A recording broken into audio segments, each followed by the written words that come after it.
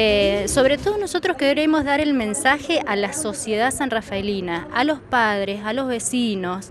Eh, a nosotros nos ha costado mucho acá en San Rafael conseguir que tener tanta oferta educativa.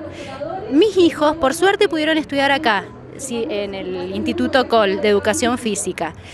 Eh, yo he podido estudiar acá. cuando yo salí del secundario, yo no tuve la oportunidad de irme a estudiar afuera porque mis padres no me podían pagar una carrera afuera. Entonces después tuve la suerte de que acá tuviéramos tanta oferta. Em, el gobierno nos habla de oferta y demanda para mantener carreras abiertas. No es suficiente eso. Nosotros, por ejemplo, en arte trabajamos especialmente con el otro, trabajamos con personas, eh, llegamos a las personas. Eh, mucho, muy lejos de lo que es oferta y demanda. No es eso lo importante. Y por otro lado, estamos preocupados porque hay como un doble mensaje. Eh, desde la manifestación que hicimos a principio de año, eh, se nos dijo que por qué decíamos y hablábamos de cierre de carreras.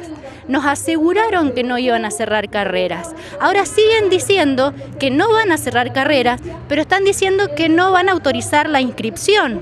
Entonces, la verdad que nosotros no estamos entendiendo el mensaje.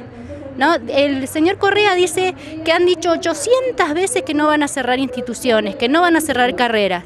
Eh, el mensaje no está siendo claro y estamos muy preocupados. Nosotros no queremos perder tanto que hemos ganado en tantos años.